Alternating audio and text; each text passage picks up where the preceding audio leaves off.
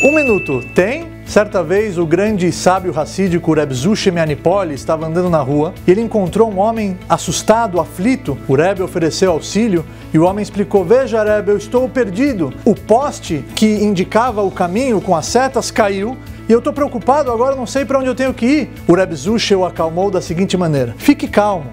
Eu vim de Anipole, ou seja, Anipole é para lá. Isso você já sabe. O homem, ao escutar que Anipole era para lá, ficou muito feliz e agradeceu o Rebbe. Se Anipole é para lá, eu já sei para onde eu tenho que ir, para o sentido ao contrário. Mas o Rebbe Zushi aproveitou o momento e lhe disse: Jamais se esqueça, quando você não sabe para onde você tem que ir, lembre-se de onde você veio. A Mishnah diz: Da me'ain bata uleana taolech. Saiba de onde você veio e para onde você vai.